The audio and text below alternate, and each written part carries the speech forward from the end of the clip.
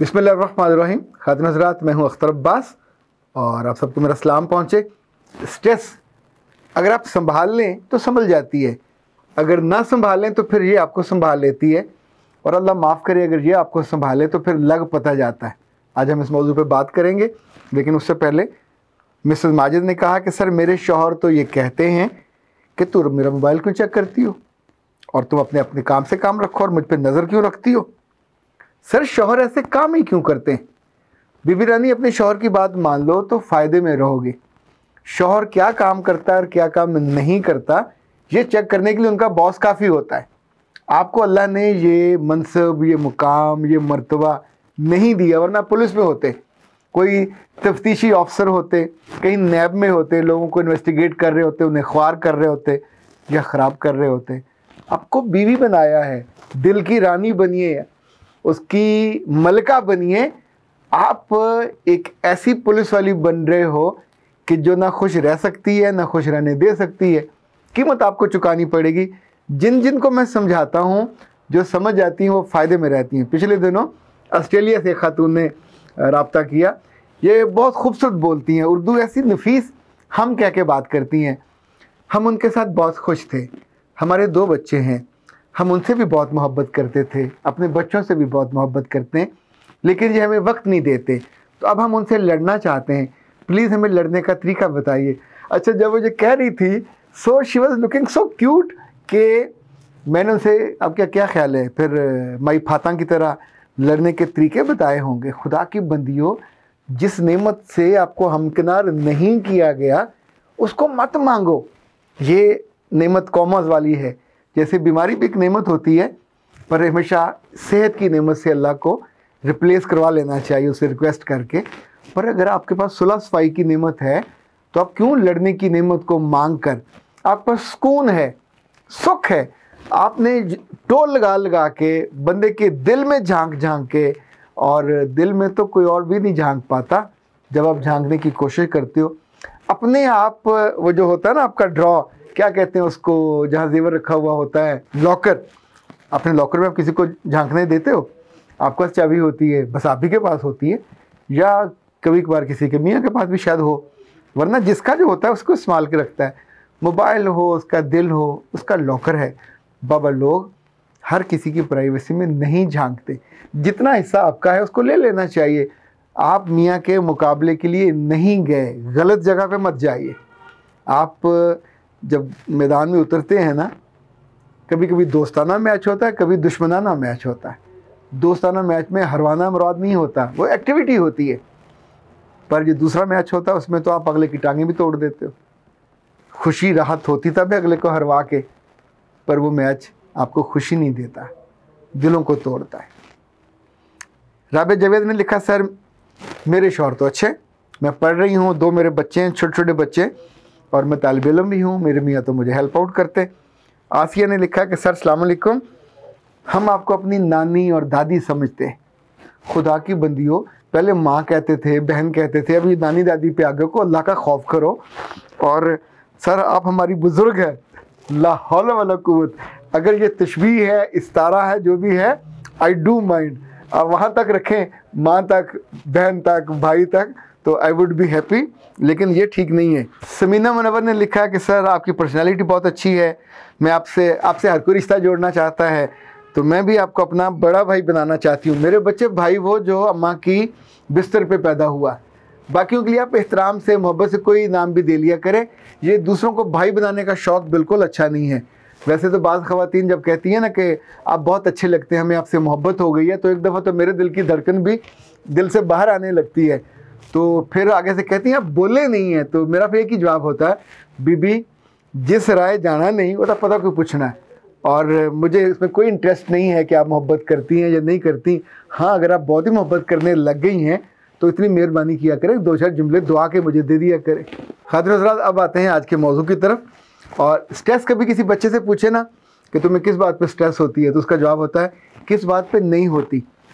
अम्मा के साथ भी यही मामला है, अब्बा के साथ भी यही मामला है, दफ्तर में काम करने वाले के साथ भी यही मामला है।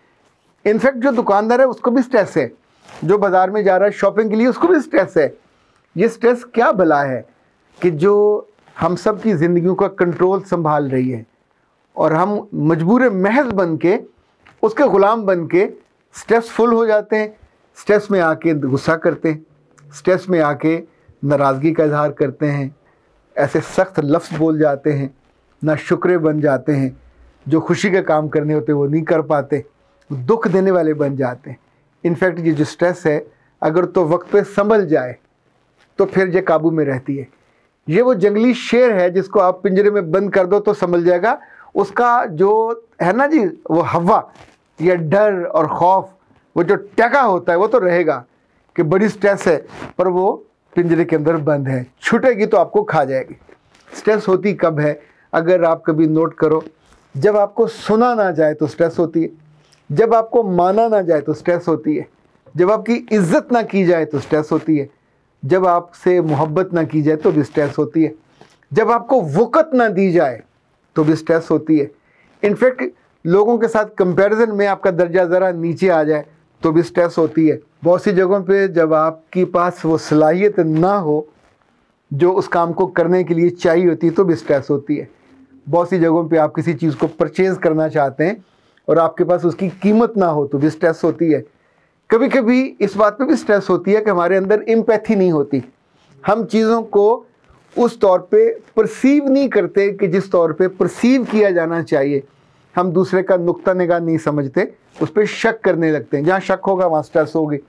जहाँ यकीन होगा, वहाँ स्ट्रेस नहीं होगी। आपकी ज़िंदगी की सारी स्ट्रेस तो मैं दूर नहीं कर सकता।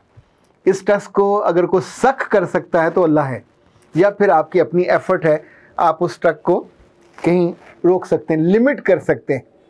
जब भी स्ट्रेस होने लगे तो आपको ये कनपटियाँ हैं जो सुर्ख भी होंगी, तेज़ भी होंगी, गर्म भी होंगी, दुखने लगेंगी। कभी कभी तो जो आधे सर का दर्द है, उसे कहते हैं मिग्रेन वो होने लग जाएगा। कभी पूरे सर का दर्द भी हो सकता है। आपके हाथों में पसीना भी आ सकता है। आपका हाथ में हल्का हल्का राशा भी हो सकता है। आपका पाँव हिलने ज़ोर ज़ोर से और आपके काबू में नहीं आएगा। इवन कभी कभी ये जो होंठ है आपका, ये बेकाबू होकर हिलने लगता है। आपकी आँखों का भी ये मूवमेंट बढ़ सकता है। जब भी स्ट्रेस हो तो कुछ काम कर लीजिए। आपके स्ट्रेस से इन पूरी तरह काबू नहीं आएगी, पर बहुत सारी काबू आ जाएगी। नंबर वन फ़ौरन वो जगह छोड़ दें जहाँ ये बकबक हो रही हो, जहाँ ये स्ट्रेस प्रोड्यूस हो रही हो। नंबर दो वॉक पे चले जाइए।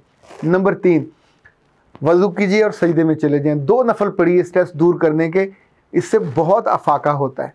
अगर अल्लाह ने आपको अकल दी हो और समझ दी हो तो आप द्रुशिफ की तस्वीर कर सकते हैं, लेकिन उस जगह को छोड़ के निकल जाइए। द्रुशिफ पढ़ने से जिसम पे और रूह पे बहुत शानदार असरात होते हैं। मैंने तो ऐसे लोग भी देखे हैं जो दूसरों को लड़ते देख कर वहाँ ज़ोर ज़ोर से द्रुशिफ पढ़ देते हैं तो लोग लड़ने से रुक जाते हैं। इसका इतना हया होता है कि लड़ाई भी रुक जाती है। अच्छा कुछ मुश्किल अपाय के लिए तीन काम और भी कर सकते हैं। आपको छुट्टी कर लेनी चाहिए काम से या उस रिलेशनशिप में थोड़ा सा गैप दे देना चाहिए। नंबर दो, अपनी फ़िज़िकल एक्टिविटीज़ बढ़ा दीजिए। नंबर तीन, आप कहीं विज़िट पे जा सकते हैं। क्योंकि यूरोप में और अमेरिका में तो अदारे भी स्ट्रेसफुल कंडीशन से निकालने के लिए लोगों को रिलैक्स भी करते हैं, छुट्टियाँ भी देते हैं विज़िट भी कराते हैं और उनको किसी हॉलीडेज़ पे वेकेशन पे भिजवा देते हैं। हम आमतौर पे वकेशन में नहीं जाते कि ख़र्चा होगा। अलबत् अपनी जो स्ट्रेस का ख़र्चा है, उसको बढ़ा लेते हैं और फिर वो स्ट्रेस आपकी ज़िंदगी को कंट्रोल करती है, आपको दुख देती है, तकलीफ़ देती है और आप बेबसी के साथ मरीज़ बनते जाते हैं। दुनिया में बहुत सारे मर्ज़ों का इलाज है, पर अगर आप स्ट्रेस के मर्ज़ में मुबतला हो गए तो फिर हर आती जाती चीज़ आपको हर्ट करेगी। तो जनाब फाइनली बात यह है कि ये भी मुमकिन है कि स्ट्रेस इसलिए होती हो कि आप अपने अल्लाह से दूर हों और जो वहाँ से आपको कुत मिलती हो, जो वहाँ से आपको खैर मिलती हो, वो अब तक ना पहुँचती हो तो ज़ाहिर फिर स्ट्रेस तो होगी। जैसे बैंक भरा हुआ हो, जेब भरी हो तो बंदे को स्ट्रेस कम होती है। ऐसे इंसान के साथ रहमतों का ख़जाना पीछे खड़ा हो तो भी स्ट्रेस नहीं होती। जिन ालमों के अपनी माओ से ताल्लुक ख़राब होते हैं और अब्बों से भी, उन्हें भी बहुत स्ट्रेस होती है। और जिनको अपने बच्चों की माओ से ताल्लुक ख़राब हों, उनको भी बड़ी स्ट्रेस होती है। वैसे तो स्ट्रेस उनको भी बड़ी होती है कि जो खाने की टेबल पे बैठे हों और सामने माँ भी बैठी हो, सामने बीवी भी बैठी हो, उसने खाना परोसा हो और फ़ोन की घंटी बचे और आप बड़े नरमी से और प्यार से फ़ोन सुनने लगें तो जो ही फ़ोन आप नीचे रखो तो फिर आपकी बीवी कहे, केड़ी माँ का फ़ोन सी? उदों भी बड़ी स्ट्रैस होंगी जी। अख्तर अब्बास को इजाज़त दीजिए। असलकम